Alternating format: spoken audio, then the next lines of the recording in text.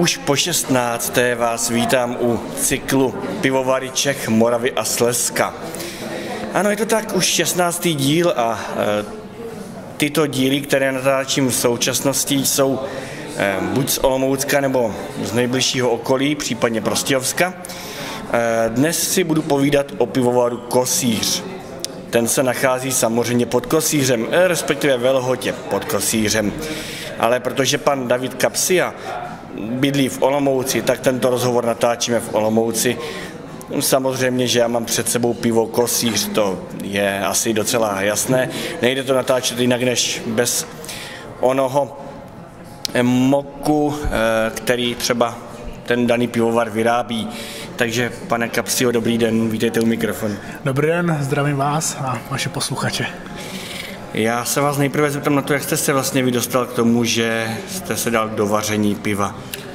Pro mě to byla taková poměrně uh, dlouhá cesta, uh, byť nejsem vystudovaný uh, technolog nebo nemám vystudovanou technologii potravin, mám vystudovaný marketing, takže já jsem takovou obloukovou cestou, kde jsem víceméně začínal a ještě v dob studentských jsem působil v Sigmě Olomouc v audiovizuální tvorbě.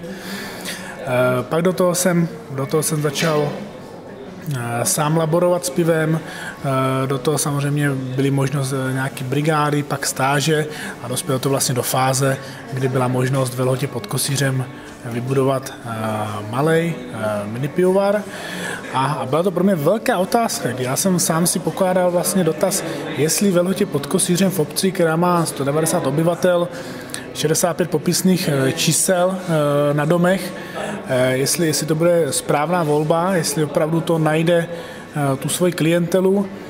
No a zaplať pán Bůh, eh, vlastně rok předtím otevřeli rozhlednu na kopci, na Kosíři, takže, takže najednou jsem viděl, že tam mezi spoustu kamarádů, spoustu mých známých se dívá na rozhlednu, chodí na procházky a samozřejmě následně o, o vesnici dál je muzeum kočáru, takže, takže jsem si říkal, Eh, že, že, že ta myšlenka by mohla fungovat a že by ty návštěvníci eh, mohlo by to být dostupné pro ty návštěvníky, protože právě to místo eh, v ten moment začalo být silný a zajímavý.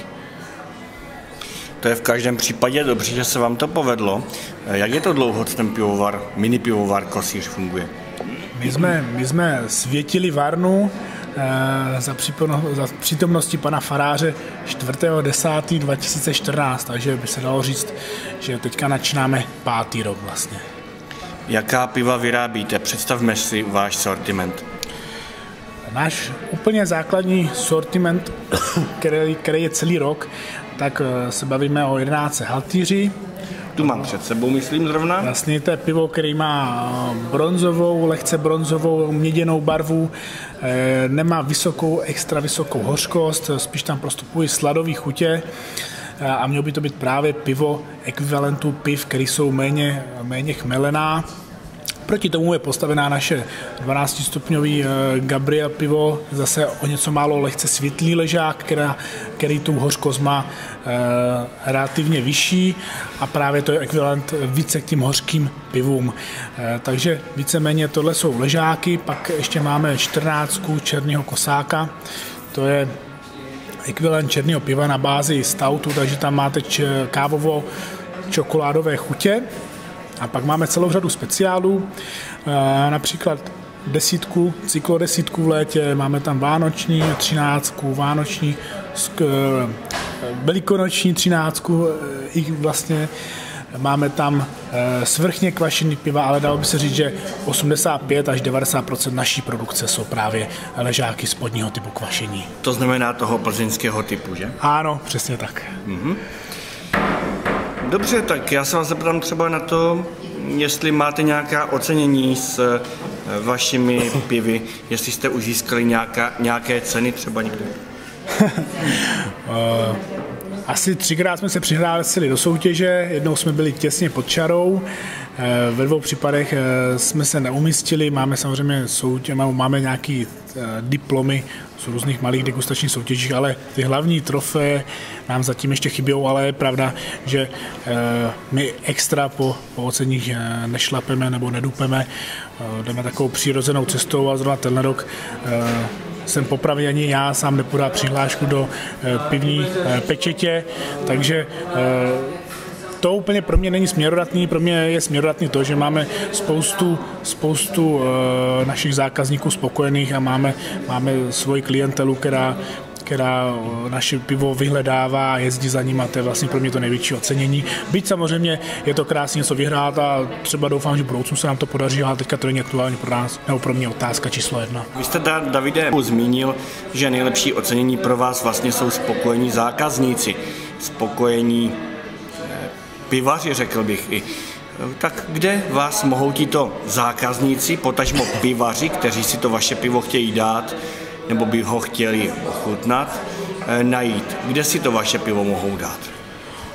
V točené podobě, v točené podobě eh, naše pivo můžou ochutnat mimo Olomouc, třeba i v Prostějově, eh, v Music Baru 27. V Olomouci se můžeme bavit o galerii, eh, respektive o Cezar, to znamená restaurace Cezar na Horním náměstí, u Orloje.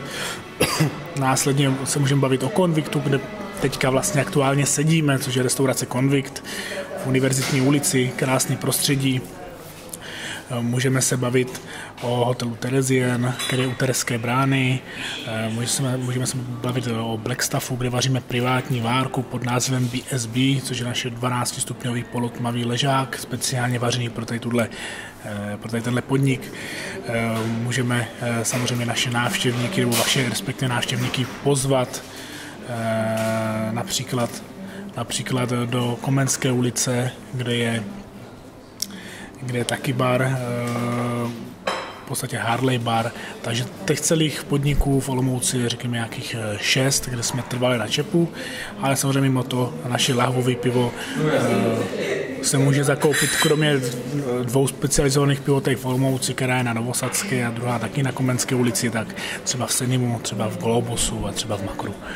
Mm-hmm. Takže e, máme relativně portfolio tak, aby, aby právě naši konzumenti e, mohli si nás koupit na více místech, aby to bylo rozprostřené. To je dobře, to určitě. Já bych se zeptal, v jakých podobách, nebo spíš v jakých eh, baleních si to pivo můžeme koupit. No dobře, ne každý si asi přijede k vám do Lohoty prosud, hm, protože ne každý by ho měl jak čepovat. Je zajímavý takový trend poslední dobou, který je, že samozřejmě relativně restauračním podnikům trošku ubírají eh, klienti, nebo respektive eh, do hospod chodí méně lidí. Na druhou stranu, my, já osobně zaznamenávám trend, kdy, kdy právě spoustu lidí si kupuje malé výčepy, koupí si 15-20 litrový sud a ten si pak doma v garáži, respektive na zahradě u grilování s přáteli narazí a, a pijou ho. Ale e, samozřejmě mimo tady tuhle sudovou podobu naše pivo e, víceméně klasicky už zmíněné druhy jako 11, 12, 14 máme v pedlahvých litrových, ale právě třeba omezené, omezené e, speciál, jak je vánoční speciál nebo velikonoční, máme v 0,7 skleněných lávích uh, s korunkovým uzávěrem, takže, takže to spektrum, uh, to spektrum samozřejmě dokážeme pokryt i ty lidi, kteří uh, naše pivo vyhledávají jako dárek pro svého partnera nebo přátele, tak i ve znešeném skleněném obalu. Mm, dobře. To znamená, že i to pivo s tou kávovou příchutí je v PET lahvi také? To máme i v PET i ve skleněné lahvi, ano, přesně mm-hmm, tak. Mm-hmm. Fajn. Uh, máme mezi sebou určitě různé sběratele tácků, etiket, případně kríglů. Zeptám se, jestli nějaké takové předměty máte i vy. Vždycky, vždycky se snažíme tady tyhle předměty naskladnit eh, před letní sezónou, takže eh, samozřejmě sklenice, který, který necháváme tisknout, tak vždycky máme z jara, z začátku z jara, pak už ve spoustě případů to právě potřebujeme distribuovat dál i k hospodským, i k těm zahrádkám, aby měli náš, náš brand, takže pak se může stát, že ke konci sezóny právě tady tyhle například sklenice nemáme, ale samozřejmě uh, dalo by se říct, že máme i potácky, i sklenice, i samozřejmě etikety uh, a celý ten základní jako sortiment našeho loga se nachází na těchto věcech. Je zajímavé, je zajímavé, že opravdu tady komunita sběratelská je velice silná, takže když se podíváme třeba na sběratele etiket, tak opravdu můžu hovořit, že není opravdu týdne, kdy mi nepřišly tři, čtyři maily od sběratelů, který právě od nás požadují etikety nebo potácky a vzhledem k tomu, že my jsme dělali redesign etiket teďka o Vánocích, tak, tak teď aktuálně opravdu hodně, hodně dopisů odesíláme s novýma etiketama právě s vratelům, kteří to po nás požadují. Počkám, až do rakety ten kávovar, dobrý. A zeptám se vás tedy, už jsme se zmínili, kde teda to pivo máte, v jakých podobách, ehm, tak ehm, nevím, pořádáte třeba u vás v Lhotě pod Kosířem nějaké akce spojené s vaším pivem nebo někde jinde, kde by Čech třeba mohl mm, vás potkat v nějakých festivalech nebo nějakých akcích třeba? Určitě. My, my během léta máme celou řadu akcí, kde, kam vlastně s pivovarem jedeme. Eh, opravdu, ať, ať je to například eh, Beerfest v Olomouci, ať je to například ve Velké Bystřici pivní salon, eh, máme tam eh, na Tvarušském festivalu naše stánky piva.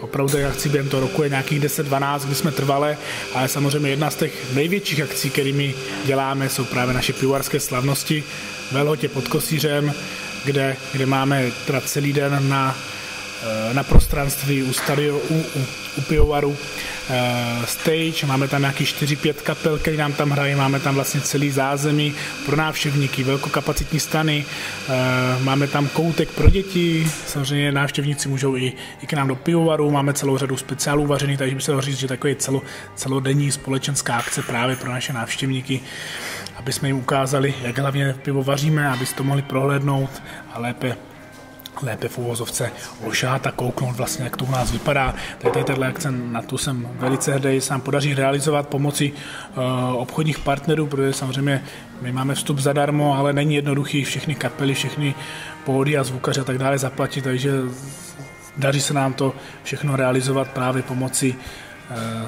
zpřízněných obchodních firm, které nám pomáhají uh, a který, který samozřejmě bez který by to vlastně ani nevzniklo. Dobře, tak kdy tyto pivovarské slavnosti budou letos? Kdy k vám máme přijet? Tenhle rok máme termín 13.7., což je sobota eh, a už, už teďka můžu prozradit, eh, že tam máme kapelu domluvanou třeba Vanastovi věci Revival, máme tam eh, Prior Rock, která je drahanovická kapela, která u nás dokonce složila písničku o pivovaru Kosíř, máme tam domluvený spoustu dalo by se říct, soutěží ohledně piva. Bude tam nám hostovat pivovar, bude nám tam hostovat Tvarušková cukrárna a mimo to nám samozřejmě tam bude hostovat Jameson, eh, což je náš dlouhodobý obchodní partner, protože eh, naše pivo eh, Černý kosák vydáváme i v edici, který ležel v dřevěných sudech po Jamesonovi a protože Jameson dělá whisky, která zase opačně v edici Stout Edition a je to whisky, která ležela v dřevných sudech po černém pivu v Jirsku, tak bychom jeden eh, z výhradních partnerů v České republice, který právě tady tohle pivo vyrábí a, a vlastně samotná degustace spočívá v tom, že máte eh, panák a whisky a vlastně naše pivo a takzvaně párování eh, tady těchto dvou produktů, kdy si dáte doušek piva, doušek whisky a v obou dvou produktech máte čokoládovou kávu tóny, tak se to vlastně krásně doplní do jedné chuťové linie.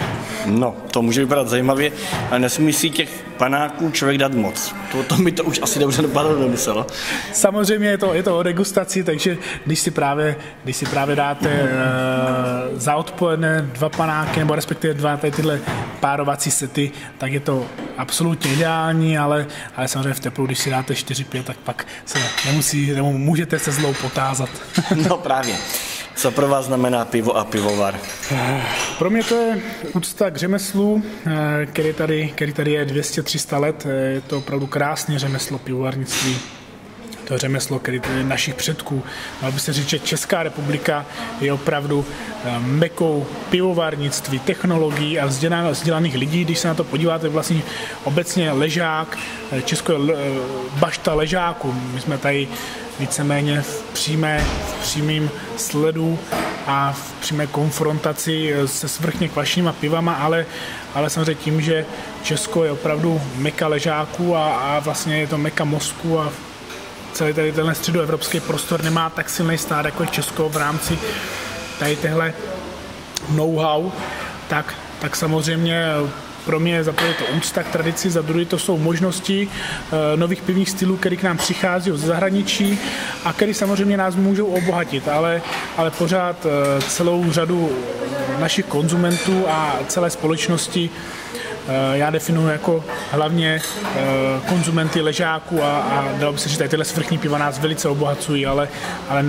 nevěřím tomu, že tyhle svrchní piva by dokázaly někdy nahradit vlastně náš ležák, který by se dalo říct, že já považuji, že je nejlepší na celém světě.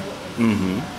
Ještě mě napadly dvě otázky. Mm. Jednak teda zkuste trošku popsat ten váš prostor eh, v té lhotě pod kosířem, ten váš pivovar, to jsme si neřekli, to třeba tam u vás vypadá. Náš pivovar v lhotě pod kosířem kapacitně není uh, velký pivovar, Dalo by se říct, že průměrem vyrobeného piva je lehce podprůměrem, pro podprůměrný český mini pivovar ale prostorově je to velice malý uh, mini pivovar. Takže když se na to podíváme, uh, tak naše výroba má opravdu dalo by se říct orientaci tak, jak dříve bývala uh, v těch pivovarech. To znamená, že v prvním patře máme varnu, 450-500 litrovou varnu, opatro níž máme spilku, kam to víceméně by samozřejmě mohlo jít samotnou gravitaci, ale my používáme čerpadla, jsme v 21. století a ještě opatroníž, jako kdyby eh, to znamená u nás ve sklepech, tam máme eh, tam máme naše ležácké tanky. Takže tak, jak dříve byla dodržena taková ta osa, že z vrchu to teklo vlastně samospádem dolů, tak tohle v našem případě trošku nevědomky je právě taky dodrženo. Mm-hmm. No ty otázky budou ještě další dvě, takže mě napadly celkově tři. Určitě, ptejte se, o to tady jsem. Jasně, tak eh, jaké suroviny používáte? Jsou to výhradně české suroviny, nevím, slad, chmel, nebo odkud vlastně? Určitě pro ty české ležáky, eh, nebo, nebo obecně pro ty naše české ležáky, když je vaříme, tak eh, se to samozřejmě skládá hlavně tady z místních našich surovin českých, takže slad máme ze sladovny v Zábřehu, eh, mimo to samozřejmě sladovna Zábřeh je hlavním dodavatelem pro pivovar Holba, Litovel, Hanuš, Holba, Litovel, Přerov. Chmel, pokud možno, tak se samozřejmě snažíme mít tršický, ale vzhledem k tomu, že už samotní dodavatelé toho chmele to nemá jasně diferencovaný, co je, co je český a co není český, nebo respektive co je tršický a co je žatecký chmel, eh, tak, tak vlastně my sami bereme chmel, který zrovna aktuálně je k dispozici a jestli je to žatecký chmel, který je z tršic nebo z žatce, eh, tak tak ten žatecký poradní červeňák sami nevíme, takže my jsme hlavně rádi, že ten český chmel jsme schopni dostat, protože e, ta nedostatka, nedostatek chmelové úrody třeba v loňském roce, která byla, byla značná a samozřejmě pak už si nemůžeme vymýšlet, jestli chceme e, doslova lokální chmel nebo nechceme lokální chmel. E, dalo by se říct, že další samozřejmě surovina Voda tu máme opravdu místní, z, z místního vrtu, takže ta voda je doslova kosířská v pravém slova smyslu. My ji extra neupravujeme, protože parametry té vody jsou kojenecké, takže my, eh, my, nepotřebujeme, my nepotřebujeme nějakou zásadní úpravu na té vodě dělat. A poslední surovina eh, pivarské kvasnice, tak ty máme z pivaru Hanušovicích v Holbě, protože tam mají propagační stanici a víme moc dobře, v jaké eh, kondici ty kvasnice se nachází. Kolik je vlastně ve vašem mini pivovaru zaměstnanců? Kolik vás to pivo vlastně dělá? v našem, našem pivovaru, my jsme opravdu malý pivovar, eh, u nás, u nás se nacházím já a podsládek, takže to je vlastně naše absolutní gro. A, a pak teda maximálně nějaké brigádní, když ho potřebujeme na, ně, na nějaký akce, ale, ale, ale není to podmínka. Mm-hmm. Pane Kapsio, přemýšlím, co vám popřát. No, asi jako tradičně, ať se vám daří to, co děláte, ať to pivo je pořád tak dobré, jako je. Já ho tady popijím při našem natáčení, takže v jedné ruce diktafon, v druhé ruce držím půl litr. Posluchači nevidí, tak jim to takhle popíšu. No a takže vám moc děkuji za tohle, že jste se mě udělal čas. Byl mi potěšením a doufám, že se nevidíme naposledy.